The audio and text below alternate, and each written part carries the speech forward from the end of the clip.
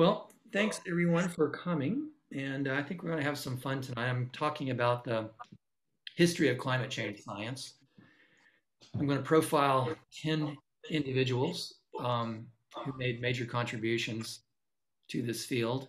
And I'm going to use um, the discussion of their contributions sort of as a jumping off point to talk about some of the science issues, uh, perhaps some that I don't have a chance to often talk about.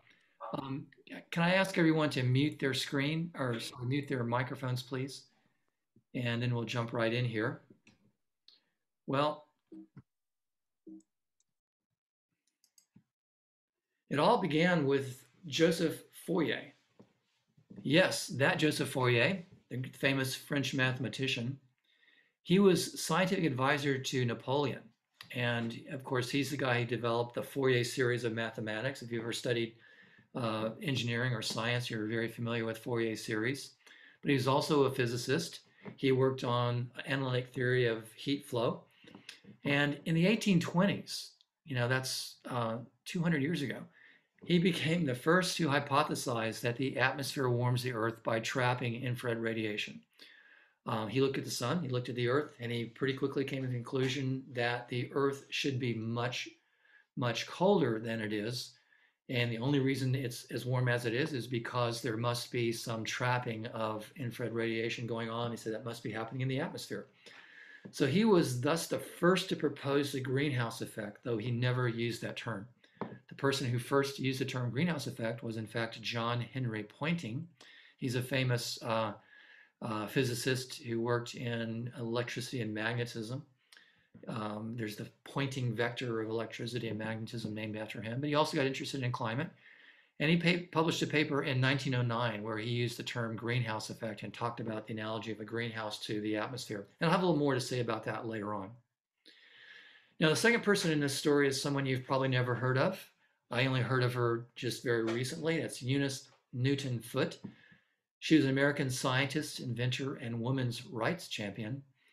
Um, she did the very first experiment on the warming effect of sunlight on different gases. And based on these experiments, she became the first, the first to theorize that increasing carbon dioxide in the atmosphere would warm the Earth. Now, her experimental setup was very simple. She had these glass globes and she put different gases in them and, and a thermometer and she put them out in the sunlight and saw how much they warmed up. Uh, not a perfect experiment. Uh, some of the reason why the different gases warmed up was not because of a trapping effect of the greenhouse effect, but rather uh, a heating effect in the way that uh, the different gases absorb sunlight. So it wasn't a perfect experimental setup, but nevertheless, she was the first to say carbon dioxide is special. It's doing something here. And in fact, here's a direct quote from her 1856 paper, four years before the Civil War. And it's quote, an atmosphere of, of that gas, CO2, would give to our Earth a high temperature and if, as some suppose, at one period of its history, the air had mixed with it a larger proportion than at present, an increased temperature must necessarily have resulted. So not only did she identify CO2 as an important greenhouse gas, the first to do that, but she was also the first to speculate that paleoclimate would have been affected by carbon dioxide. Indeed, we know that the ice age cycle is, is amplified by the carbon dioxide feedback effect. She was really the first person to speculate along those lines. Unfortunately, her work was largely overlooked by those who followed, and she never received the recognition she deserved until very recently. Her work has been discovered and she's been publicized. Sad commentary, save affairs back then. Um, her paper was presented at an American Association of Science meeting in Boston in 1856, but she was not allowed to present it. Had to be presented by uh, a male colleague. Uh, it was an old boys club then, and they didn't allow women in. So she had to actually call on somebody else to present her paper, and the paper was pretty much overlooked by by the rest of the of the scientific community, which is unfortunate. The person who is generally credited as being the first one to to uh, uh, investigate CO2 was the renowned Irish phys physicist John Tyndall. Uh, Tyndall made many fun fundamental contributions to the understanding of electricity, magnetism, radiant heat flow, and he proved Fourier's hypothesis that the Earth's atmosphere warms uh, the Earth by measuring the infrared absorbing properties of atmospheric gases in the laboratory. And he showed that water vapor absorbs the most infrared radiation in the atmosphere of all the gases, but also noted the importance of CO2. Now, he was either unaware of Eunice Newton Foote's earlier work on this subject, or he chose to ignore it. I'm hoping it was the former and not the latter. In any case, it's really fun to look at his experimental setup. And here's a, actually a picture from his original paper. and I'm going to try to explain how this works. I'm sure I'm not going to be 100% right, but it's still kind of fun to talk about it. And it's like this. There is this tube right here into which he introduced the different gases. Now the tube had on it at each end a plug made out of rock salt. Rock salt was known to be transparent to infrared radiation, but it held the gas in and he had he had pumps and ways of, evacuating the gas from this tube to make a, a, vacuum and then putting various gases in there. He had two heat sources, one right here and one right there. Think of that as being like a Bunsen burner. And it's warming up some type of a radiator here, which might have been made of metal or perhaps ceramic. Two identical setups on both side, sides. And the idea was the, um, the radiant heat from this end of the tube, the, the infrared radiation would flow through the tube and be affected by whatever was, was in it. And then it would be collected by this horn here and it would come to the middle. And then there would be the same thing coming from the other side. And in the middle here was a thermopile, which is like a is like a connection of, of thermocouples, which measure temperature difference. So if the same amount of radiation was coming from both sides, then there would be a, a zero uh, flow of electricity here, which he then measured on a galvanometer down here. So I think the way he probably did this was he probably did a calibration state experiment where he evacuated all the gas out of here, all the air out of here, and that would have been a vacuum. And then he read whatever voltage was registering here through the galvanometer and this thermopile. That would be sort of like his baseline. And then he would have loaded up the tube with uh, nitrogen, which is the most common uh, element in the atmosphere. Repeated the experiment, he would have seen the same reading because nitrogen is not absorbing infrared radiation. Then he would have tried perhaps oxygen, and again, it would behave just like having a just like having a um, a vacuum there because oxygen doesn't absorb infrared radiation. Then he tried CO2, and lo and behold, there was a big signal. There was it was much colder on this side than on that side because the CO2 was being absorbed here. And he also tried ultimately water vapor and he showed the same thing. So he was able to identify that water vapor and CO2 are the most important um, uh, in, uh, greenhouse gases for trapping this radiation and warming the earth in just the manner that Joseph Fourier had speculated about. So that was a pretty, pretty major contribution. Uh, he did this work, published this paper three years after the work of Eunice Newton Foote a year before the Civil War. So that kind of shows you how far back that was going on. Now, the next person in this saga is uh, Svante Arrhenius. Many people have called Arrhenius the, the father of climate change. He made enormous contributions. He was a Nobel Prize winning Swedish chemist. He made fundamental contributions in many areas of science. In fact, he was uh, seen as the uh, one of the uh, founders of physical, physical chemistry in 1896, he was the first to calculate the warming of the Earth due to increasing atmospheric CO2, and most importantly, the first to conclude that human caused CO2 emissions from the burning of fossil fuels were large enough to cause global warming. He quantified uh, the effect of greenhouse gases on warming the Earth. And he also developed, uh, kind of a theoretical way, he showed that for each doubling of the amount of CO2 in the atmosphere, the Earth would warm by the same fixed amount after reaching equilibrium in about a century. And that fixed amount of warming at equilibrium for each doubling has become known as the equilibrium climate sensitivity, ECS. And that's an important parameter that people still talk about today quite a bit. It's often used to characterize different models. The higher the ECS for a particular model, the more sensitive it is to increasing CO2, the more warming it's going to predict. So enormous contributions here. And before I move on, uh, one fun fact you're going to really enjoy, and that is the fact that um, Greta Thunberg, our, our friend Greta Thunberg, in fact, is a direct descendant of Svante Arrhenius. In fact, uh, Greta Thunberg's father is named Svante in Arrhenius's uh, honor. And I think that um, the way this goes is that Arrhenius was Greta Thunberg's great, great, great, great, great grandfather, plus or minus one great. Uh, so direct descendant. So that's kind of a fun thing to, to be aware of. So let's talk a little bit about the greenhouse effect. Before I go a little bit farther, I, I just want to, uh, to mention something, and that is, you know, the term greenhouse is a really good analogy for the way the system works, but it's not a perfect analogy. And I think we all should, you know, think about that and be aware of that.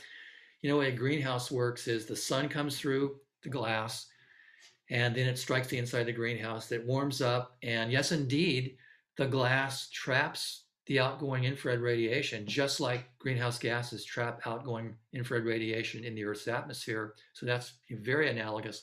But a greenhouse also warms up to a great extent because it traps hot air.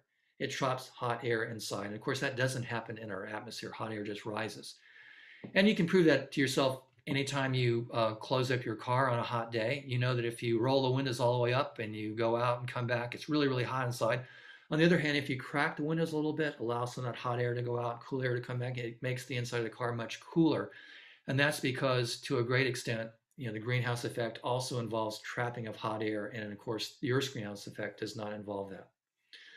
But anyway, uh, the greenhouse effect works like this. The Earth is warmed by incoming solar radiation, and it's cooled by reflected solar radiation and outgoing long wave radiation, also known as infrared radiation.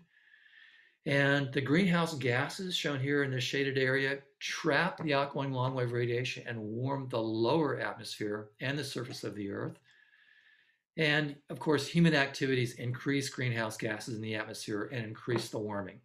So, what are the greenhouse gases? Well, kind of order of importance here water vapor, carbon dioxide, methane, the fluorinated gases, also sometimes referred to as the halogenated gases, nitrous oxide, and ozone. Note that I've colored water vapor and ozone differently, and that's because they're kind of special. Water vapor contributes to global warming through the water vapor feedback loop. As the atmosphere gets, as the oceans get warmer, the atmosphere gets warmer. Uh, more water vapor is in the atmosphere. The atmosphere getting, is getting more humid, and so it's trapping more heat. That's a positive feedback effect, but it's not a driving effect. Water vapor does not drive global warming, but it does amplify global warming through the water vapor feedback effect. The important thing to know about water vapor is it is in balance with the natural hydrological cycle. And it also has a short residency time in the atmosphere. If you put a bunch of water vapor in the atmosphere, well, within a matter of a few days, it's going to rain out if it's out of balance with the hydrologic cycle. So water vapor does not drive global warming. What about ozone? We hardly ever talk about ozone. Let's talk about ozone a little bit here. Ozone molecule by molecule is a powerful greenhouse gas. Uh, ozone is very resonant with the photons of infrared radiation, and thus it, it captures infrared radiation very effectively. But its contributions to, to global warming are actually not that large. And to understand that, we have to realize that ozone exists in two areas in the atmosphere. First of all, there's the stratospheric ozone, and that's residing up at the base of the stratosphere, about 40,000 feet in altitude. That's the famous ozone layer that we all depend on to absorb uh, ultraviolet light from the sun. Thank God we have that, otherwise, you know, we'd be really in trouble.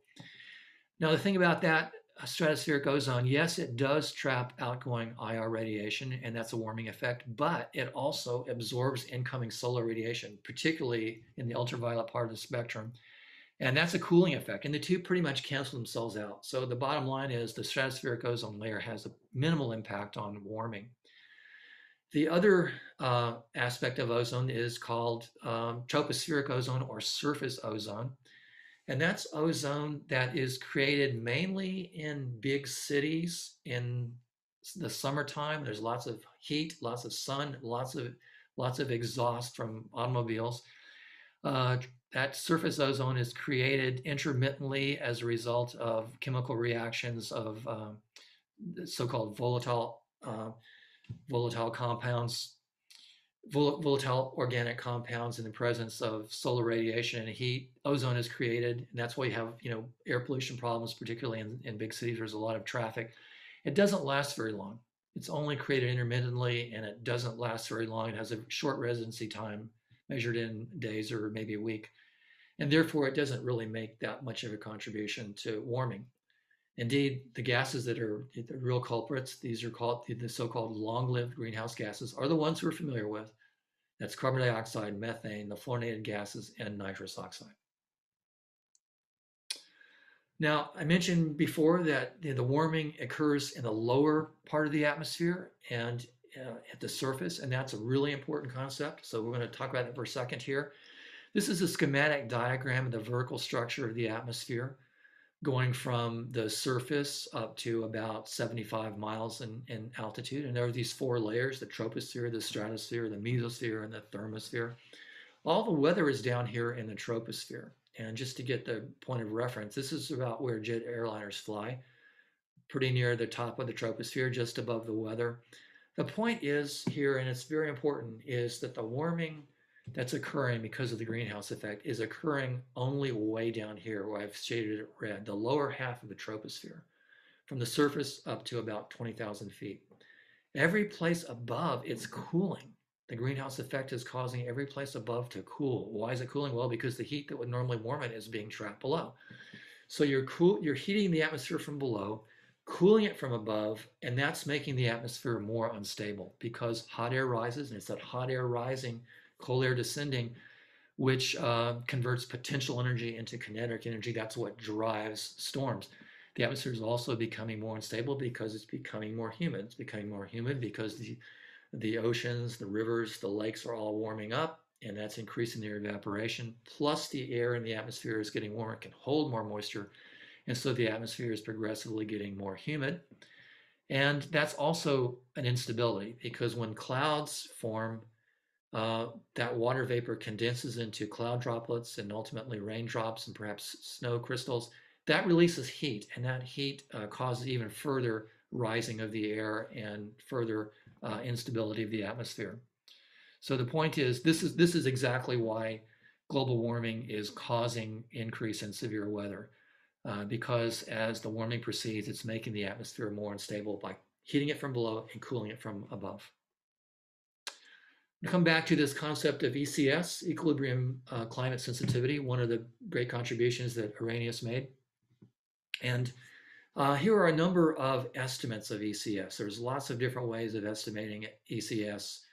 And you can see there's there's a range of, of uncertainty here. But if you combine all of this, you find that ECS, at least as of 2018, the scientific consensus was it was about three degrees centigrade or a little bit less than three degrees centigrade. I'm going to have more to say about this at the end of this talk.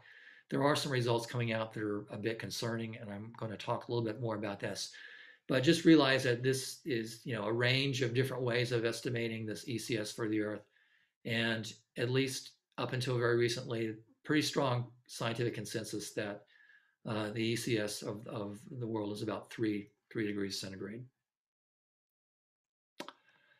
Now, the way science progresses and makes progress is you have theory and observation coming together. You have a theory of how the world works or the universe works. You have observations. You put the two together and they support each other, and that's how you make progress.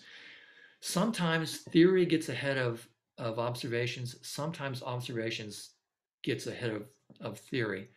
At this point in the story, the theory was ahead of the observations. Arrhenius had developed this theory and he looked at things quantitatively and he had come to the conclusion that the human emissions of, of CO2 into the atmosphere caused by the by the Industrial Revolution should make the Earth warm. But that was just a theory at that point. No one had observed that. And then along came this interesting person, Guy Stewart Callendar. Now, Callendar was an English steam engineer and inventor. He studied and pursued climatology as a hobby. And he was the first to analyze global temperature measurements and show that the post industrial Earth was indeed warming, consistent with what Arrhenius had said you know, a few decades prior. Um, he concluded that this warming was a result of rising CO2 levels in the atmosphere caused by the burning of fossil fuels, just as Arrhenius had hypothesized. Now, he published his paper in 1938. And think about that. You know, he had to acquire millions of observations from all around the world.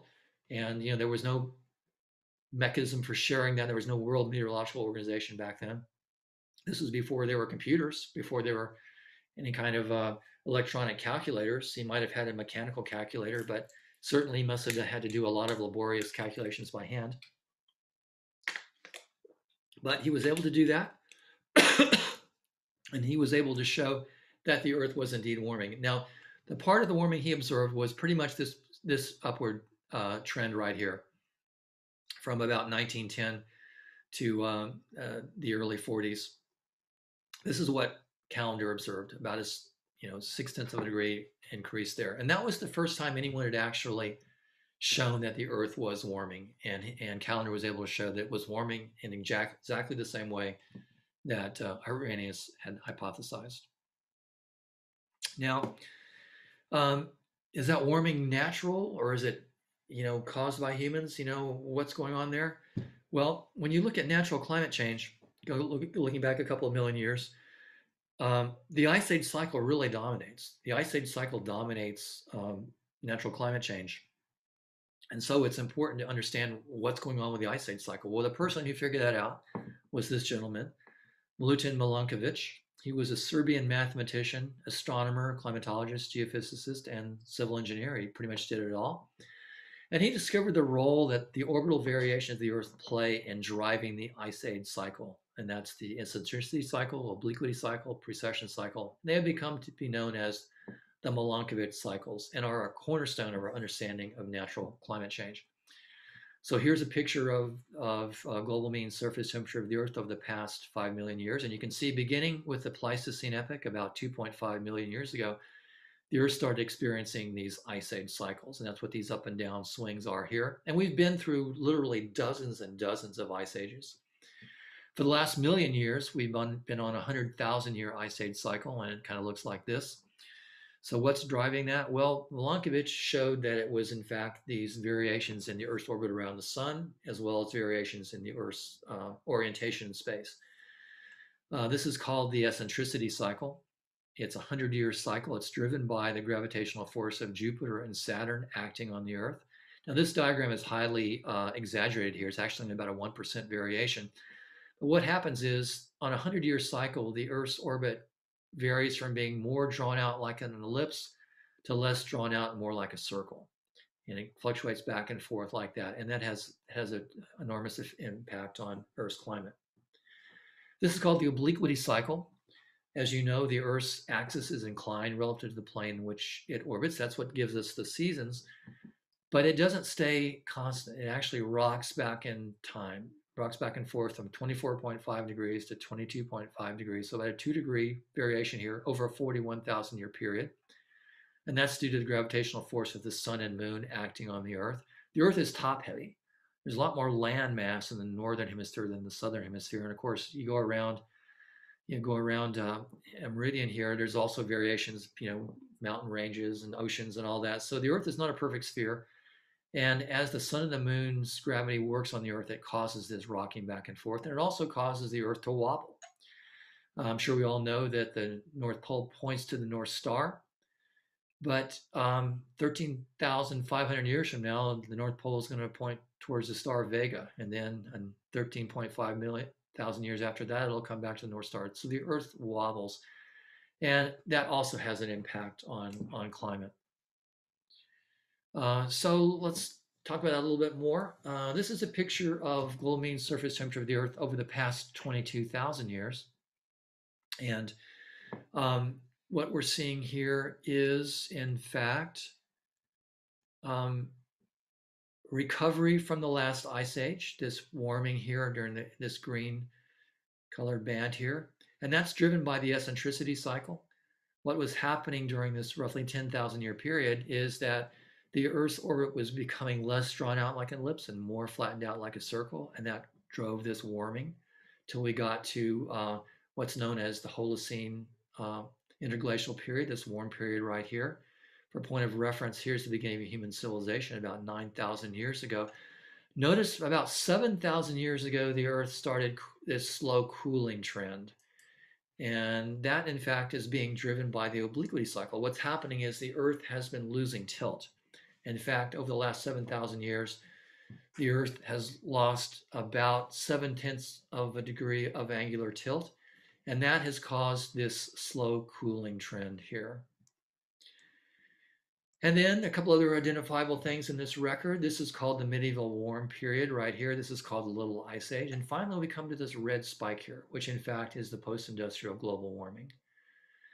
And it's nice that we have Milankovitch's work because we understand all what's going on here and we see how different this is from what has been going on here. We see how different uh, the temperature change for the last 100 years is from the natural climate change. And in fact, um, the global warming of the past 120 years has been proceeding in the wrong direction. You know, we should be still cooling. And in fact, we should continue this cooling trend for about under normal circumstances for another 8,000 years. And then it would turn down more rapidly for about 10,000 years. And, we, and we'd be in the next ice age about 18,000 years from now. But in fact, we're going abruptly in the other direction. We're going very fast, about 20 times faster in the opposite direction than natural climate change. And oh, by the way, uh, the onset of this just happens to occur exactly at the beginning of the industrial age. So pretty, pretty compelling evidence that this is not natural climate change. So there was a world war, and then in the post-World War, uh, World War II era, climate science uh, came back to the forefront again, and the person who made uh, some of the most important contributions in the early part of that era was a Russian by the name of Mikhail Budyko. So Budyko was a Russian climatologist and one of the founders of physical climatology. He pioneered the development of simple models of the Earth's climate based on global radiative heat balance. His groundbreaking book, Heat Balance of the Earth's Surface, was published in 1956, and it transformed climatology from a mostly qualitative science into a quantitative physical science. He, for example, was the first to describe and quantify the snow ice feedback effect and Arctic amplification of global warming. Um, and also the long-term predictions of global warming and sea ice loss produced by, by Budyko in the early 70s with his simple radiative heat balance models have proved to be remarkably accurate. Realized that when he was doing this, this is before we had supercomputers, before we had the climate models we're familiar with today. He was using very simple radiative balance models um, and he was able to make forecasts and in fact uh, have verified quite well in terms of how much ice has been lost in the arctic and that sort of thing so Budyko was focused on you know things that look like this this idea of this radiative heat balance that we've that i often show and i want to use this as a jumping off point to talk about a very important term and a very important concept and that is radiative forcing. You'll probably hear that term you'll probably read that term radiative forcing now in time. I want to make sure you understand what it is. Although there's a more um, precise definition, basically it's just essentially the, the radiation balance at the top of the atmosphere. So, you know, you have out, you have reflected solar radiation going out, you have long wave radiation going out, you have incoming solar radiation. You just add those all together and you end up with this number down here, um, plus 0.9 watts per square meter. That is the radiative forcing. If the radiative forcing, which is basically the sum of these numbers here, sums to zero, then the Earth is neither warming nor cooling. If it's positive, then the Earth has got to be warming. If it's negative, the Earth's got to be cooling. That doesn't happen, then we're violating conservation of energy. It's just got to happen. So radiative forcing is an important concept. It's basically the radiation balance at the top of the atmosphere. And you can also break the radiative forcing into individual components, which is quite instructive. And the way that's usually presented is a change in the key components of the radiative forcing from 1750, which is the pre-industrial era, to the current time. The reason we have to, to do it that way, look at a change, is because individual components here were non-zero, even in the pre-industrial era, they summed to zero, but individual components were non-zero. And what we really want to see is how have things changed between then and now? In other words, what has been the impact of, of man on radiative forcing? What has been the impact of, of natural variability on that? So what we have here in the upper part here are different components of the radiative forcing, and you can see the, the effect of the of the four um, long-lived uh, greenhouse gases, halogenated gases here, or or F gases. And right off the bat, you see that in fact carbon dioxide is the dominant greenhouse gas. Now, the way we read this chart is the dot here is the most likely value, and these are error bars. So there's some uncertainty here. But if you take the most likely value you, and you can come down here, you're seeing that uh, it's greenhouse CO2 alone is producing warming of about about 1.3 uh, watts per square meter. That's the measurement of, of, of radiation, watts per square meter flux of energy. Next, next comes methane, halogenated gases down here, and nitrous oxide finally down there.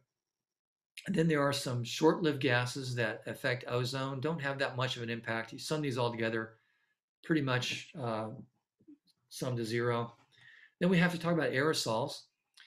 Aerosols exert a cooling effect, and we always mention that, but black carbon, also known as soot, actually exerts a warming effect. So the black carbon in the atmosphere actually does absorb enough sun that it actually warms the atmosphere. But on balance, when you look at all the different aerosols, um, they do produce, in fact, a, cool, a net cooling effect. Changes in clouds due to aerosols. As we put aerosols in the atmosphere, air pollution, for example, that's actually seeding clouds and, and, increasing cloudiness, and that cloudiness is reflecting solar radiation away, and that exerts a cooling effect. This is kind of interesting. Change in albedo due to land use. What's going on here? Well, you know, when we, we take down a forest, deforestation, that's bad, of course, because that's increasing the CO2 that goes into the atmosphere. But there is actually a cooling effect associated with that. It's, it's small, but it's not zero. And that is when you when you it turns out forests are very dark. They absorb a lot of solar radiation. If you deforest and end up having grasslands or croplands or even bare soil, it's more reflective than the forest. And so that solar radiation is reflected out, and that's a, a slight cooling effect. And then finally, uh, change in energy from the sun. Look how small that is. You know, one of the favorite climate denier theories is, well, it's the sun. You know, we can't do anything about the sun, so quit bothering me. It's just the sun. Well, no, it's not. Here's here's how much the sun has changed uh, since 1750. A very very small warming effect, very close to zero. So when you sum all this together, you come out with this value right here, which is 2.3 watts per square meter. Sum all these together, you come out with a warming of 2.3 watts per square meter as the radiative forcing. Now, wait a minute. Wait a minute, you say. That can't be right because look, you just showed me it was 0.9 watts per square meter, and now you're saying 2.3 watts per square meter. You might be thinking of that line, that Jack Nicholson line from the movie The Shining, Professor, what the hell is going on here? Well, I'm going to explain. And that is there's an there's an important component that's missing here that's not shown in this table and not not summed up here. And that, in fact, is the um, long wave radiative feedback. That the fact that the Earth, as it's warmed, it's radiating more from the surface. And there is this famous Stefan Boltzmann law, which is kind of summarized here, and that says that the outgoing long wave radiation from the surface of the Earth is proportional to the absolute temperature of the Earth to the fourth power. So the absolute temperature of the Earth is measured in degrees Kelvin is is um, just like the the centigrade scale. The Kelvin scale is just like the centigrade scale, except zero is at absolute zero, which is minus 273 degrees uh, uh, centigrade. So if you have the Earth's temperature in centigrade, you just add 273 to it, and you have it in, in, in Kelvin. And the outgoing solar radiation or outgoing long wave radiation will increase in proportion to the fourth power of that. So as the Earth is warmed about 1.2 degrees centigrade um, over the past, uh, you know, 120 years or so, the outgoing long wave radiation has increased by about 1.5 watts per square meter. That's a, a negative feedback effect. It's trying to cool the Earth down. Thank goodness, because if it wasn't for that, we would be about three times warmer than we are now. We would be in excess of three degrees above uh, pre-industrial right now, and, and we'd be heading for probably nine degrees of warming by the end of this century. But thanks, thanks to this long wave radiative feedback effect, the fact that the Earth warms up, it tries to cool back down. Uh, that's constrained that, and that explains that discrepancy between here. You'll you'll typically see, you, you know, that long wave uh, feedback effect not shown on these charts, and therefore, you know, you'll see a number here that's not consistent with the actual radiative, total radiative forcing. Total radiative forcing is about 0.9 point. Some people now are saying 0.8, 0.8, 0.9, maybe approaching one. It's kind of in that range, watts per square meter. And realize that that's averaged over the entire face of the Earth, average over day and night, average over all four seasons. So when you sum that up, and I've done that in some of my other talks you may have seen, it's really a huge amount of heat. And uh, of course, as we've probably talked about before, most of that heat, 95% of it, is going into the oceans. And there's a lot of implications about that. Uh, also was the person who um, uh, first talked about and quantified the snow ice feedback effect. This is a very important positive feedback effect that amplifies global warming.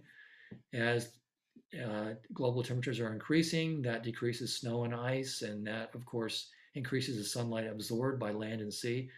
Ice is, is has some of the highest. Well, ice has ice and snow have the highest albedos of any place on the earth, and ocean actually has the lowest. You know, ocean is very dark, and so when you melt sea ice and and all of a sudden the sun is impinging on on the ocean, it really warms much faster because that's uh, that that solar radiation does not reflect, and what happens is the amount of, reflected radiation right here goes down, and the amount of absorbed radiation goes up, and that is a very important amplifier of global warming, and that's why we have this this uh, Arctic amplification, which Budyko talked about way back in the 50s, before it was really observed, and that is uh, we know that the Earth is warming about two to three times faster in the Arctic than it is elsewhere because of this effect. Now, the next person in this saga is Jule Charney. Uh, Charney was an American scientist considered to be the father of modern meteorology. Uh, he was not really a climate guy. He was a weather prediction guy. He made fundamental contributions in, in numerical weather prediction. He also was a driving force behind many national and international weather initiatives and programs. He was very highly respected in the meteorology world. And in 1979, when the National Research Council concluded it was time to convene a, a, group to study CO2 and climate, they chose Charney to chair that committee. And the resulting publication, usually referred to as the Char- Charney Report, is considered to be a landmark event in the modern scientific, scientific assessment of global warming and climate change. In fact, we just recently had the 40th anniversary of the Charney Report back in 2019, and a lot of lot of uh, you know events around that. It was such a big deal. And one of the really amazing things that came out, out of that is how accurate they were able to predict the warming. Back in 79, um, from 79 to, to 2019, 40 year period, this is the blue curve here is how the Earth's temperature is, is evolved. The red curve is how the CO2 has gone up. They predicted pretty closely how well this, how much the CO2 is going to go, go up. And they also were almost right on in predicting how much the Earth was going to warm over that 40 year period. This is the amount of warming predicted in the Charney report for that 40 year period. And this is how much the Earth warmed. If you run a, a trend line through this, it pretty much matches up right on with the Charney report's prediction of 0.8 degrees centigrade warming over that 40 year period. Realized back in 1979, computers were much uh, less capable than they are now climate models were very crude. They were just kind of coming into into development back then, so they had very crude models. Uh, didn't have all the great observing systems we have now and satellites and all that, and yet Charney and his colleagues were able to predict very accurately how much the Earth warmed over that period. So I think that's very impressive. Now we come, of course, to Charles Keeling. Uh, I'm sure you recognize that name. He was an American scientist and professor of oceanography at Scripps right down here in San Diego. He was the first to make very accurate long-term measurements of atmospheric CO2, the first to establish that, uh, the seasonal variations of CO2, as well as its long-term upward trend in what became known as the Keeling curve. Now, sometimes you see the Keeling curve as a smooth line like this red line here, and sometimes you see it as a jagged line like that. When it's shown as a jagged line, they're simply displaying the seasonal cycle. CO2 uh, takes on a, a, maximum in the spring and a minimum in the fall. It has to do with, you know, the, uh, and this is Northern Hemisphere, has to do with the, uh, the, the, growing cycle. And um, this data collection started by Keeling at Mauna Loa in Hawaii is the longest continuous record of atmospheric CO2 in the world. It's continuing on. And whenever you see the words Mauna Loa, think of Charles Keeling. He started it. And you can see here, uh, Keeling received the National Medal of Science, the highest award for scientific achievement from President George W. Bush. So where is all this CO2 coming from? Well, before we get to that, let's just talk a little bit about the historical uh, flow here. Pre-industrial, you know, the CO2 levels were about 280 parts per million, and now we're well above 400, around 415 parts per million. That's an increase of almost 50% over the pre-industrial level. From 1850 to 2018, the total amount of CO2 emitted by human activities amounted to about 1.6 trillion tons. 1.6 trillion tons. And this increased the CO2 in the atmosphere by about 0.9 trillion tons. We're putting CO2 into the atmosphere a little more than twice as fast as the natural carbon cycle can take it out. And that's why we're getting this increase here. The current rate of CO2 emissions in the atmosphere as a result of human activities is about 40 billion tons per year. So where's all that CO2 coming from? Well, here's a plot of uh, annual CO2 emissions as, as by country as in terms of percent. And clearly the world's leader is China. The United States is number two. If you combine the US and China, those two countries account for more than 40% of global CO2 emissions. Then it's India, Russia, Japan, on, and on down the list. Another way of looking at it is per capita CO2 emissions. And of course, the way you do that is you take the total emissions from a country and divide by the number of people in the country. Well, there's a lot of people in China, and they drop way down the list, and we float up to the top here. We're number one on a per capita basis by far, although Australia and Canada are kind of right up there with us. And then there's a pretty big drop down here. So Canada, Australia, United States have the highest by far uh, per capita emissions of CO2. It's actually a good story for California. California's per capita carbon footprint is only 9.2 tons per person per year, which is significantly better than the US national average of 16.5. That puts us down here somewhere between Japan and Germany. Now, there's a third way of looking at this, and that's cumulative CO2 emissions from the pre-industrial era to the present time. And when you look at it that way, the U.S. really sticks out like a like a sore thumb. You know, we have really, in terms of the cumulative CO2 emissions, it's coming from the U.S. You know, we've we've we've put the most out there by far. China's down below us by a factor of about two. Russia's is in third place. Then it goes on down from there. So think about this from a policy standpoint. Imagine you're a small country in uh, Micronesia, Tonga, or something like that, and and uh, you're seeing your your your country disappear because of rising sea levels. And by the way, sea levels are rising about three times faster in that part of the world compared to the to the global average. You're seeing your uh, country disappear and you're realizing that you know the United States is the ones who put all the CO2 into the atmosphere, and the United States and China, Russia, you know, we we didn't we didn't do it. You know, we didn't put any CO2 in, but yet we're we're bearing the brunt of that. So shouldn't these countries that put more of the CO2 in there pay more to solve this problem? Shouldn't they be on board? I mean, that's certainly an argument that I think uh, plays out. You know, in in when we have these, you know, the Paris Climate Accord and things like that. Something to be aware of. So uh, in terms of the U.S. greenhouse gas emissions, um, it looks like this.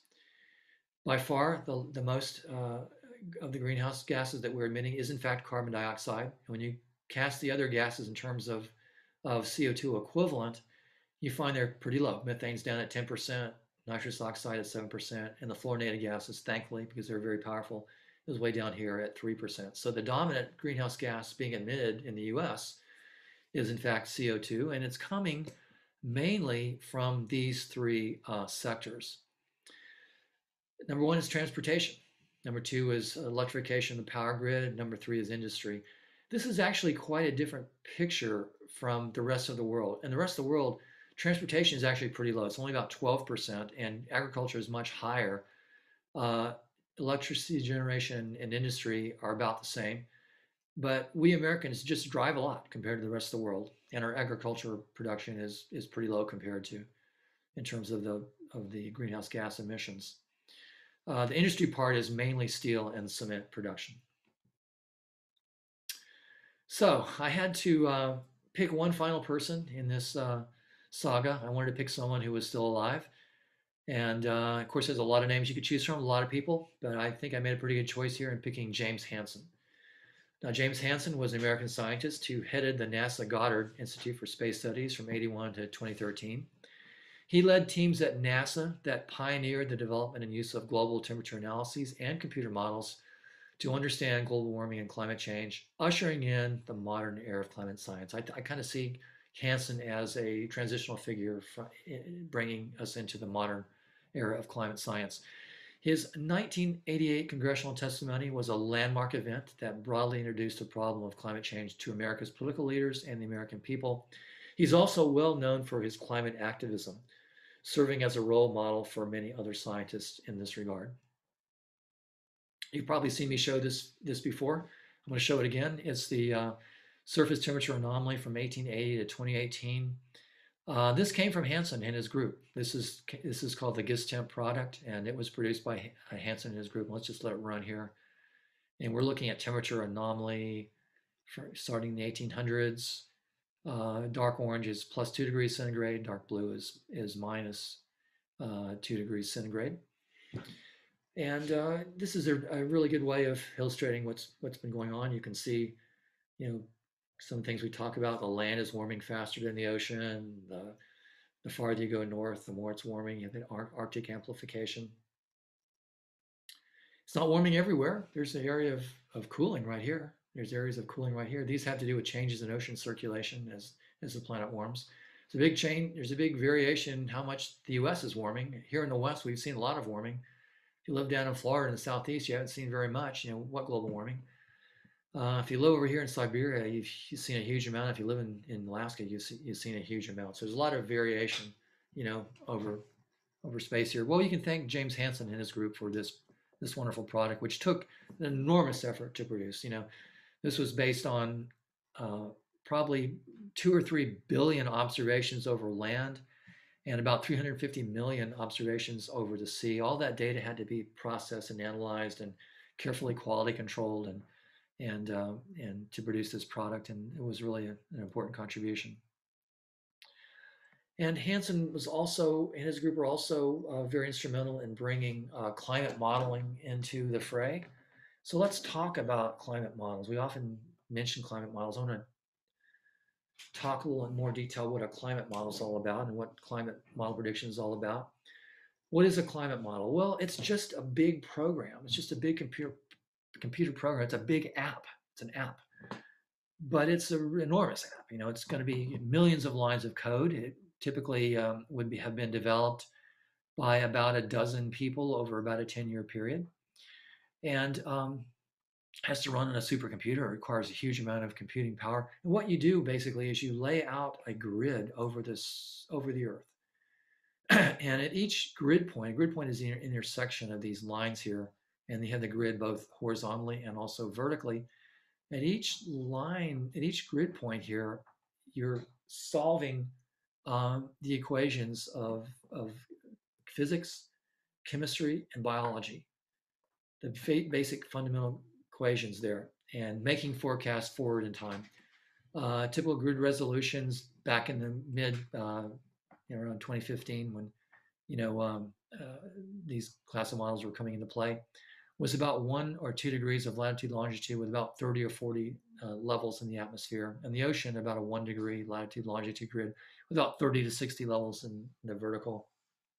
And all these processes, such as the biology of, of forest and the biology of of uh, of um, you know phytoplankton and the way that gas is transferred from the atmosphere to the ocean and that sort of thing, the effect of volcanoes, that's all incorporated in these models. So there's a huge amount of of of computing that has to go on at each of these grid nodes. Now you're always wanting to make the grid nodes closer together and give you higher resolution. It's like a digital picture. The, the more you, grid nodes you can have, it's like having a sharper digital picture, more megapixels. You get a clearer picture of what's going on. But you're limited by computer power. And then, of course, as the computers are getting more ever more powerful, you're able to improve the models, go to higher resolution, represent the physics more accurately here and all of that. So you may ask the question, okay, great. What's what's the best climate model? And what's it saying? Well, there is no one clearly best climate model. Uh, and that's because every modeling group makes cert- has to make certain assumptions about numerical techniques, about the way physics is represented. Uh, there's no disagreement about the basic uh, fundamental equations, but the way in which they're implemented on a numerical grid, there are some assumptions that have to be made. And so there's a range of, of approaches there. And so the fact that there is no one clearly best model, the IPCC uses the, um, the ensemble approach. Now, the ensemble approach is rather than using just one single model, you use uh, a group of models or so-called ensemble. And the IPC for the um, uh, last assessment report used uh, a group of about 30 or 40 of these models. And of course, they're carefully tested and accredited models. And these models were developed in about a dozen different countries. So now would be a good time to talk about the famous question always comes up. You know, you can't even predict the weather next week. How can you predict the climate 100 years from now? I, you know, I, I, just don't buy that. You know, I'm, I'm, a climate skeptic guy here, and I'm saying they can't tell me it's going to rain next Thursday. How can you tell me what the climate is going to be 100 years from now? That's ridiculous. Well, I, I want to arm you a little bit with uh, arguments to go back against that kind of thinking. First of all, fundamentally, you have to realize that weather and climate are different, two different animals. What is climate? Climate is the long-term average of weather at any given location. Long-term define is, is defined as 30 years. So it's the 30-year average of weather in a location. Well, if you're the climate denying guy, you're going to say, well, come on now. If you can't predict the weather, you know, 100 years from now, how can you predict the long-term average of the weather? What were you guys talking about? well, I've come up with an analogy I'm going to try out on you, and we'll see how it works. And it's kind of like this weather to climate is like the movement of specific individual cars on the highway to traffic. Climate is the long-term average of weather, and traffic is the long-term average of cars moving on, on, on the highway.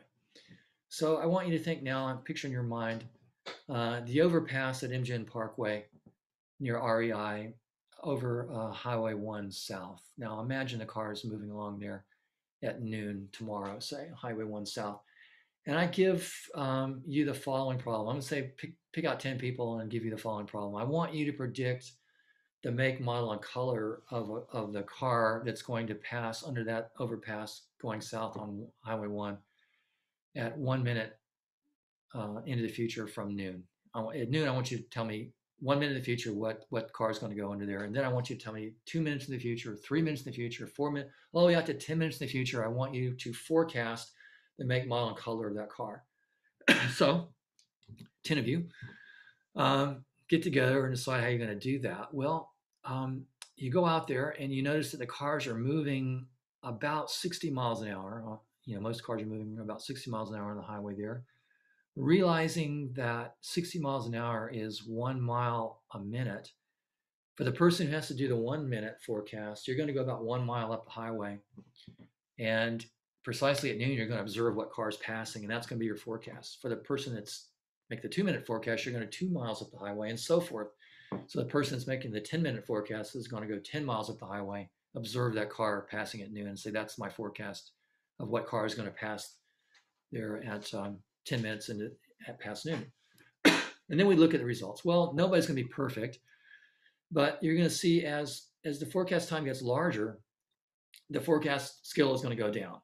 In fact, as you get out to that 10 minute forecast, you may be way off because you know cars speed up and slow down over that 10 mile period. Some cars might exit in Castroville and not even show up at all generally speaking, the longer you're trying to forecast out, the, the, less accurate your forecast. Pretty soon, your forecast is going to be totally useless, where you, you can just roll the dice and you're going to be just as good as what you're trying to predict there. Well, that's the weather prediction problem. You're trying to predict specific events. You can think of each car passing the overpass as like a specific weather event. And the time for which you can forecast that is very limited. That's the weather prediction problem. But here's the climate prediction problem. The climate prediction problem is trying to predict the traffic on Highway 1. Traffic is the long-term average, long-term in this case being defined as an hour, the, the hour average of, of the cars passing there. And guess what? I can make a very accurate long-term prediction on traffic right now. I can tell you that the traffic is going to show an upward trend between now and summer. It's going to show an upward trend over the course of the summer. Why? Because we're getting behind the pandemic, getting the pandemic behind us. Tourism is starting to come back to Monterey. People are starting to travel more. There's going to be a steady upward trend in traffic on Highway 1. And I'm making that prediction months in advance, and I predict that it'll be accurate. That's what you're trying to do in climate prediction. You're not worrying about individual cars passing individual weather events. You're talking about a long term trend. And if you understand the external forcing of that long-term trend, in this case, it's uptick in tourism, uh, then you can make these very accurate long-term forecasts. So next time you are confronted with this climate change scenario, try that, try that out and see how it goes. Now, of course, the ultimate way of, of proving these models are useful is you got to test them.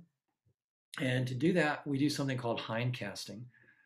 Hindcasting works like this. You've, you've got information that goes back in time. We have a pretty accurate representation of the surface temperature of the Earth going all the way back to 1880. so we can go back to 1880 with our model and pretend we're doing a forecast from 1880 up to the present time. We're going to treat it just like we were doing a forecast in the present time, but we're going to do it starting in 1880. And we know the answer. And so we'll see how well our model does against that answer. And that's what we're looking at here. Um, the solid line is the observed uh, surface temperature of the Earth, goes up like that.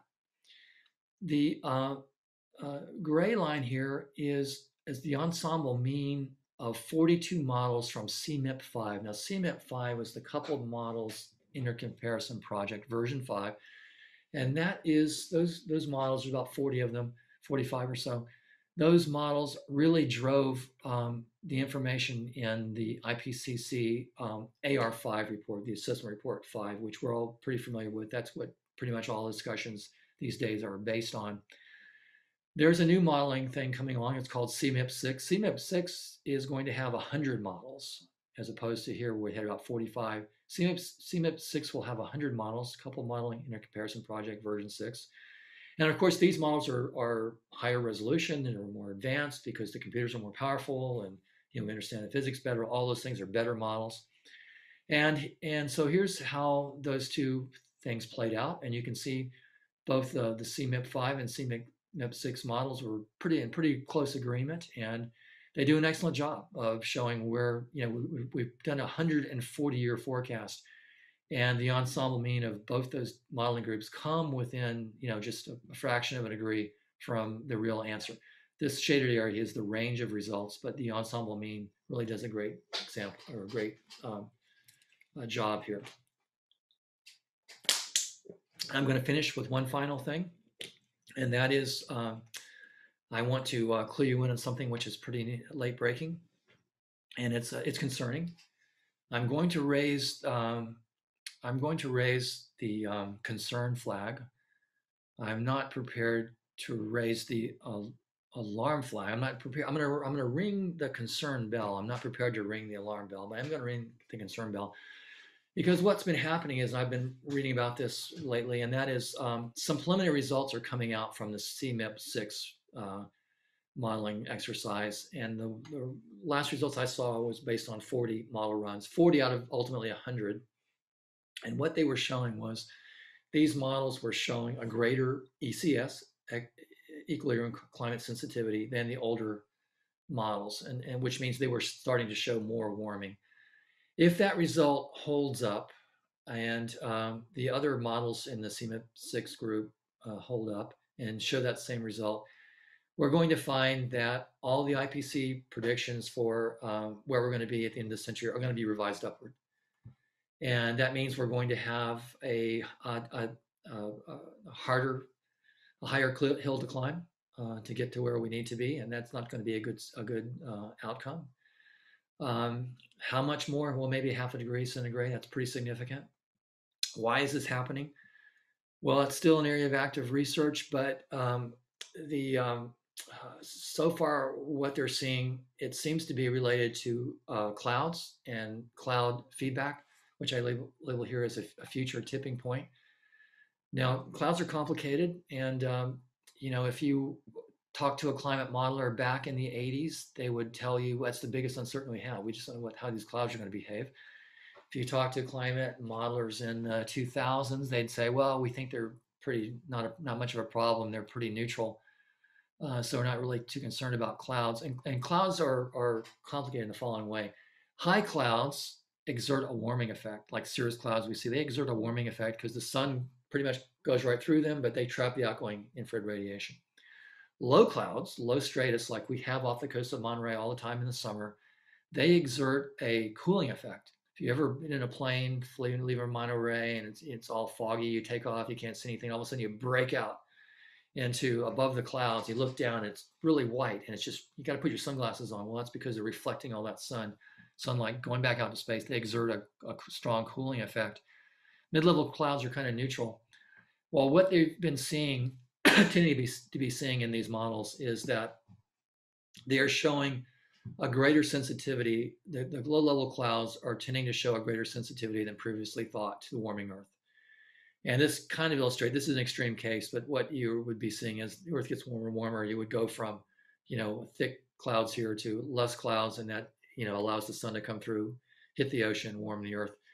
If that result holds up, um, then like I said, that's not going to be a positive result, and it's going to be um, something of concern because it's going to tell us that we've got to even bear down harder to get to where we need to be. So, in summary, uh, climate science has been around for a long time and is a mature field.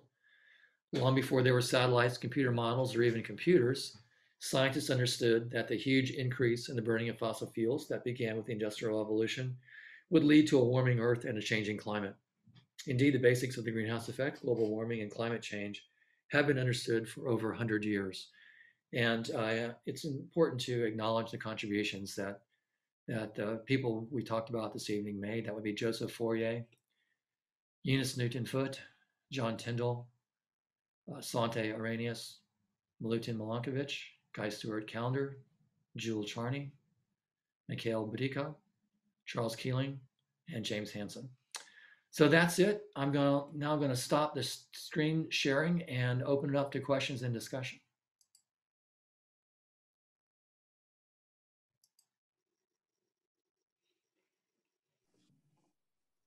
Happy to take your questions or engage in some discussion.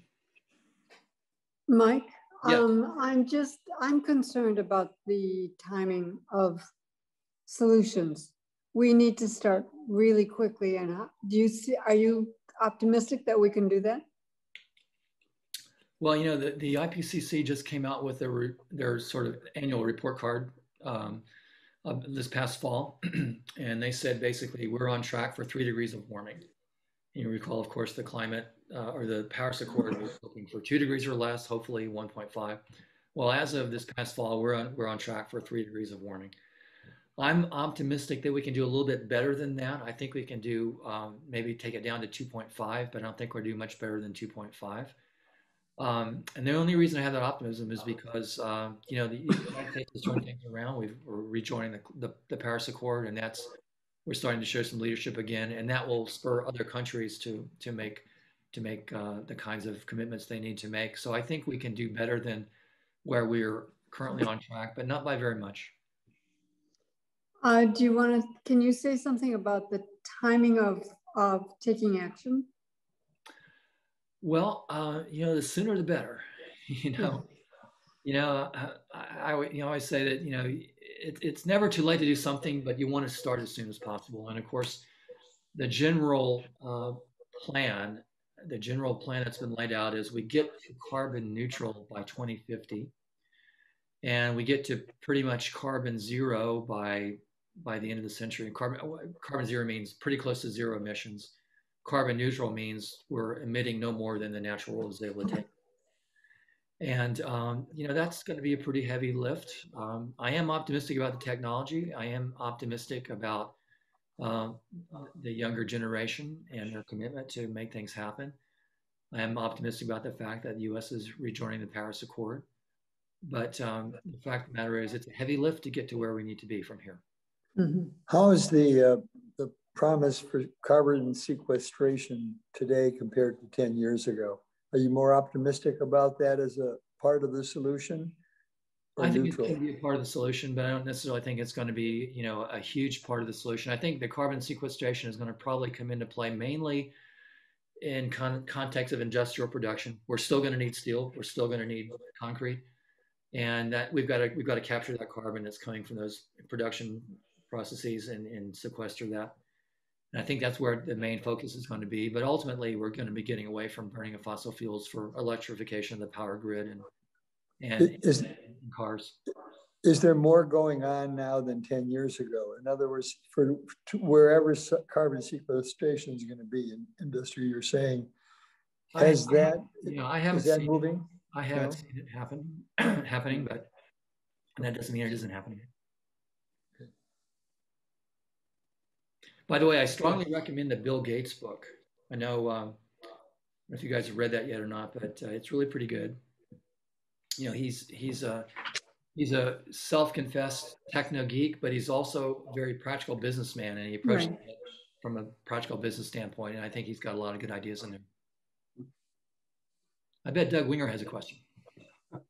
I was just going to say that was fascinating to see how the how the work kept building mm-hmm. on the shoulders of the people who had come before. And, Absolutely. and, you know, and, and that's just a, a few of the highlights. You know, I'm sure there's there's really thousands of people. Oh, absolutely. You know, there, there are thousands of scientists right now working in this field, and I had to pick one, so I picked James Hansen. I think, I think, I think it was a pretty good choice. But the fact of the matter is, there are thousands of people working now. And, and actually, one thing I wanted to mention, we've, we've transitioned over the period I talked about here from kind of the period in the 1800s where it was, you know, individual solo practitioners. You had Arrhenius doing all this stuff, and you had John Tyndall doing this stuff. Now we're in the era of big science. You know, individuals don't really by themselves do that much. It's it's a big team effort. In fact, it's a global team effort. And um, you know, it's how how the whole team puts together because you're talking about you know hundreds of computer models and and satellite systems and and you know, big expeditions to the Arctic and things like that. So we've gone from the era of sort of individual science to the era of big science, and and that's kind of where we are right now. Al- Also, I I'd like to- also, I- sorry, go ahead. I was just going to say uh, along those lines, I'd like to compliment you on how well you pronounced all their names.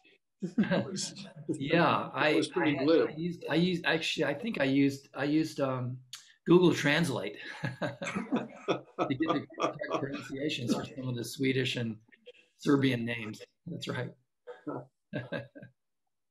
I Well, the wanted other- to also comment on the fact that elections really do matter because we backslid for four years.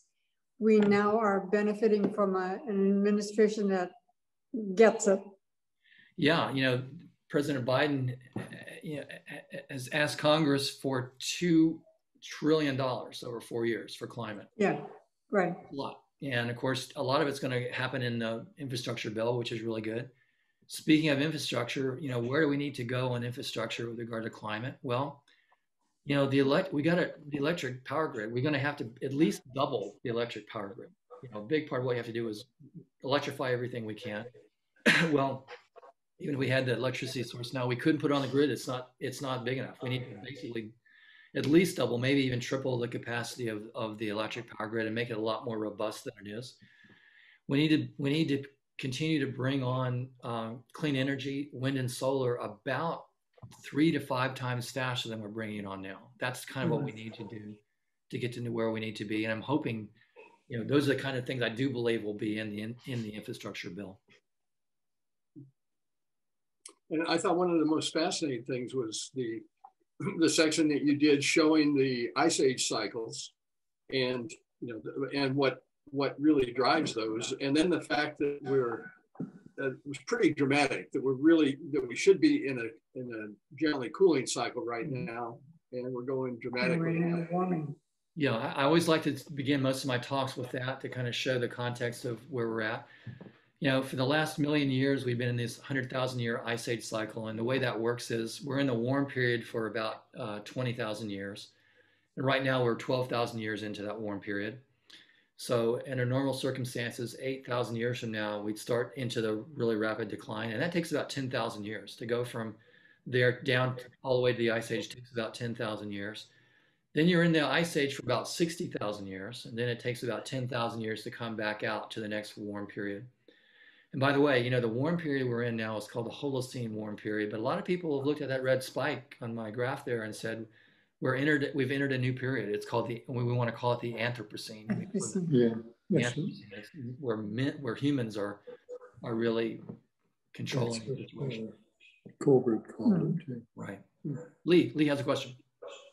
Mike, thanks. Um, that, that was fabulous, incidentally. Um, you know, we've talked about this before, but your uh, all of us, but your chart brought uh, the, the, one chart I'm going to mention brought this back to, to mind, and that was the chart where you talked about the contributors towards the carbon footprint, whether it might be energy production, transportation, agriculture, and so forth and so on. And you mentioned that it varies from country to country, which mm-hmm. ones affect uh, have more effect in different countries. But if we just start with the proposition that we have a, a finite uh, number of dollars, for example, to approach the, the this issue, where do we get the most bang for our buck? Is it in getting more people into electric cars? Is it in uh, changing the electrification system? Is it, is it, amending agricultural practices in third world countries? Uh, where, where, where, do we get the most effect? Well, in terms of the U.S., I'm going to focus on the U.S. first. Uh, you know, we really need to, and Bill Gates talks about this quite a bit in his book. We really need to electrify everything we possibly can and then power the electric grid with with um, either renewables, renewables, you know, something that's not greenhouse gas emitting. And to do that, as I mentioned a minute ago, we got to double, at least double, maybe triple the capacity of the electric grid. It's just not, it just doesn't have the cap capacity to do it now. and we have to make it more robust. And we have to make the transition from gasoline powered transportation to electric vehicles. And that, that's all happening and we need to bring on the, the, green energy, you know, faster. Part of that involves battery storage. We need to bring on battery storage capabilities, and it's not, as Bill Gates talked about in the book, it's not just day night. We need long term storage. We need to be able to, you know, save up the, uh, you know, solar energy from the summertime and, and play it back in the wintertime. So we need long term battery storage as well. So um, those kinds of things. I think I think the technology is pretty well known, and and it's it's really you know it's uh, coming along quite well. I mean the price of of solar panels continues to go down. It's almost like computer chips; it just keeps going down and down. Mm-hmm. And there doesn't seem to be necessarily any uh, reason to think it isn't going to keep on going down, which is really good. Um, the um, I, I, here's an interesting food for thought here for us that live here in this beautiful part of the world. Um, you know, offshore wind. If, if, you look at the at the um, at the uh, um, wind resource for California, you know, you're talking about where we're going to put the windmills. Look at the wind resource for California. There's maps of that. You know, people have worked that out. Well, by far, the most wind resource is right along the California coast, right out there in the ocean and the, uh, you know because the wind is very consistent out there it's always blowing pretty much. And oh by the way the offshore wind turbines can be made to be much more efficient than the ones on shore because they may be huge. They, the wind turbines that are offshore are just huge compared to the ones that are onshore. The main reason is because you can transport transport the blades by ship. You can't transport them on the highways they're too big but you can transport them by ship. You can bring that ship in and you can put up a huge wind turbine off the coast of Big Sur. Now, are we going to want that? You know, a lot of people are going to say, wait a minute, what are you going to do? I don't want to look at it. Beautiful scenery off of natural scenery off of Big Sur. A lot of people say, I see that wind turbine out there and I think it's a beautiful sight because I know it's clean energy and this is a wonderful thing. And other people will say, I don't want to see anything but the natural environment. So I think that's going to become a big issue, particularly here in California going forward. So how many miles are you talking about off, offshore? Within sight, you know, certainly oh. within sight.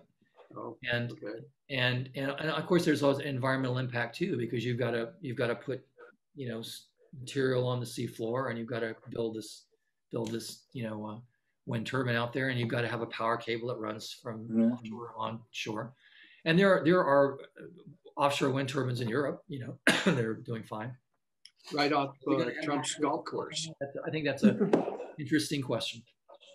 Yeah, how does that work with uh, like you know marine protected areas too? Exactly. Uh, exactly. There's a lots of political yeah. issues that lots of policy matters are going to going to come into play there. And then there's the the Monterey Bay Canyon. yeah. Anchoring something there would be quite a feat. Yeah, you could do it there, but you know you'll you'll do it pretty close to shore off California because it drops off so fast. Mm-hmm. But you know the the, uh, the solar. You know, I, I, here's an interesting thing I learned you know, California is number one in solar.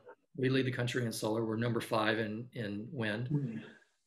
And we produce so much solar now in the summertime. We, we have to give it away. we not only do we give Sell it it. away, we don't just give it away, we pay states to take it off our hands. Hmm. That's true. The guy from PG&E told me that. We pay states to take our excess electricity in the summertime. And guess what they do with it? They turn around and sell it back to us at nighttime. Not good. So that's that's the importance of the battery storage capabilities. And then, as you probably know, there's that big thing going on at Moss Landing, the the battery battery energy storage system at Moss Landing, which is currently um, uh, 12 megawatt hours of storage capacity and 300 megawatts of transmission capacity, is the largest battery energy storage in the world. And it's, getting bigger. It's going to go to 1600 megawatt hours here by August. And that's just the the Vistra Energy part. There's a there's a PG&E initiative out there too. They're they're partnered with Tesla. They're going to add more to it. So um, you know that's that's really fantastic. And oh, by the way, the world one of the world's perhaps the world's largest solar array. It's called Topaz. Exists right down in San Luis Obispo County, not that far from us. It's the world, Hmm. I one heard of the world's largest solar arrays. Mike, the energy that's being sold back to us, is that generated by fossil fuel? We don't really know. You know, I asked that question of the PG&E guy, and he said we can't really tell. You know, it's it's just on the grid, and we can't really guarantee that it's that it's you know green energy or not. You know, it'd be good if we can kind of be self-contained and generate all our solar energy and keep it here in California. Keep it, yeah, yeah. And, and Is that's, there a comparable facility anywhere else in the country com- compared, uh, comparable to the one at Moss Landing? I'm sure there are other storage facilities, but they're not nearly as big. The one out there is is really huge, and it's getting bigger. Mhm. It's 1,200 megawatts now. It's going to be um, 1,600 megawatts by August, and they've got room to keep on growing if, if the if the uh, Wow. if the um, uh, you know the business case is made for it. Well, you know, you know, a real issue on electric cars is the raw materials for the batteries and whatnot. And so, uh, you know, that's that's a that's a huge issue. It's a it's a it's a Mhm. pinch point for a lot of the manufacturers and It is. whatnot to be concerned about that. And so, I'm I'm trying to get my hands wrapped around this concept that Bill Gates, I guess, talked about uh, that you'd have batteries large enough to literally store power during the summer when you have plenty of sunlight and whatnot that would get you through the winter. I can't even imagine the scale of raw material for that battery. Uh, Yeah, well, you think about batteries. There's different battery technologies, and the battery technology that, like you put at Moss Landing, or try to do that storage from winter to summer, summer to winter, is um, not the same battery technology you have in a car. You know, in a car you have a lithium-ion battery, and because it has to be light, you know. But you know, the battery storage at Moss Landing can be lead acid. It can be other technology that's that's much cheaper, and you can you know bring it to scale to to do that kind of storage. Oh, by the way, here's a fun thing to think about when we eventually make the transition to everybody has electric vehicles, uh, your electric vehicle is going to become an important part of the storage system. Because Sure. what's going to happen is Yeah. you're going to have free electricity during the day. Right. So you're going to have free charging of your car. And rather than shipping that electricity off to Arizona and paying Arizona to take it, you know, whatever, it's going to go into your car and all in hundreds of thousands of other cars. So your your your vehicles will actually be part of the storage system. sure. You, you got a power wall and four wheels, right? That's right. Exactly. And people have power walls in their garages as well. And, and then I guess in, in all of this technology, you've also got to crank in the carbon footprint of what it takes to put in those windmills. And Yes, that's, that's a good question. That came up in one of my early talks, and someone said, "Well, you know, there's so much steel in there, and they're giant. They're giant. It actually, you know, their carbon footprint is is you know, it, it ta- takes more, puts more carbon in the atmosphere to build a damn windmill than it's going to save over the course of its lifetime." Well, that's I've It Can't possibly be true. been about 50 studies. And it turns out it's about a 20, uh, if you average over all the different windmills, different sightings and different sizes and everything, it, it- it's about a 20 to 1 ratio. You know, you, Wow. you actually save about 20 times as much carbon going to the atmosphere by operating a windmill over a Making, 20 year life cycle than it costs in carbon to reproduce it. So another way of thinking we've got it, it typically lasts about 20 years. The first year of operation, you're kind of paying back the carbon footprint to build a windmill. In the next 19 years, it's all to the good. Mm. One interesting thing, you know, it was talked about in the, in the Bill Gates book, and I and I had to, you know, really kind of change my thinking a little bit on that. Is nuclear power? Now he's a little bit biased because he owns a nuclear company that's developing a, a nuclear technology. But you know, the the current nuclear power plants are the vast majority of them are, are called second generation plants. Mhm. A handful of third generation plants. Third generation plants are not very different from the second generation plants. They're you know just kind of incremental improvements. But there is now on the drawing board fourth generation plants. And in fact, there have been a couple of, of, of research reactors developed. There's about a half a dozen different designs for the so-called fourth generation uh, plants. And they significantly mitigate the problems of nuclear power that we with today. I'm not going to say they eliminate. I don't think they eliminate it completely, but they do significantly uh, mitigate the problems. So I'm not excluding the possibility of nuclear power being a, a, a player here. China has, I think China may be the only country that has announced their intentions to field a fourth generation plant operationally. They're hoping to do that by the end of this decade, and maybe even two of them. They're based on thorium rather than uranium.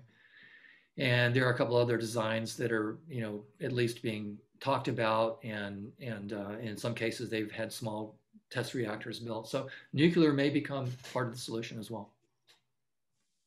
What's the uh, waste disposal for a thorium reactor like compared to the old ones? It's not as bad. You know, the, the, like I said, it mitigates the problem. You know, one of the big problems with current generation is what do you do with the waste?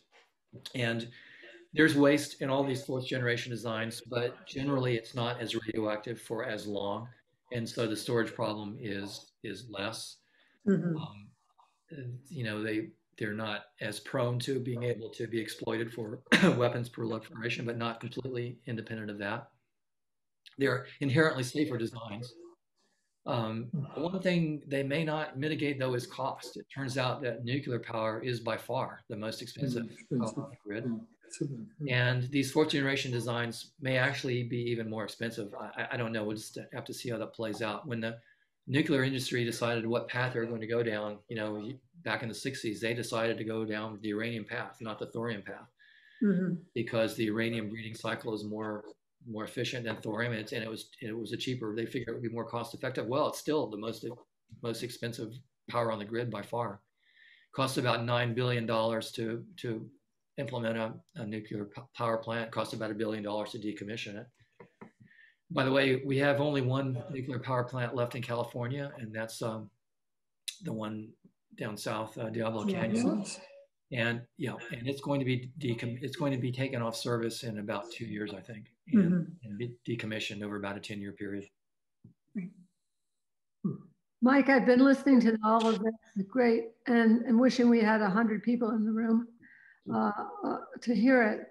Well, I'll put I'll put it up on YouTube, and then maybe we can send it out to everybody. We will send it out for Tell sure. you- this group of people how we can, can individually take it to several more people. Can, can they, um, will you have it uh, here in a way that we can, all that we're here, access it? some- Yeah, yeah, I'll, I'll have a YouTube link, and I'll email it to you, and you can email it to other people, and they can email it to whoever they Great. want to. And just- We'll do that. Because- We'll And do everybody that. should really try and do that, because this was um, uh, like nothing else they'll ever find.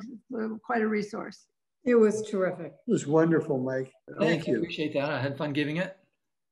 Thank you. Really, It was really great. really, it was, Really terrific. I learned something all the time. Yeah. Okay, very good. Well, I'm gonna Yeah. say goodbye to everyone, and and thanks so much for coming. Okay, Thanks, Thank Mike. you, Mike. Mike. Bye-bye. Bye, everybody. good night. Bye-bye. Night all.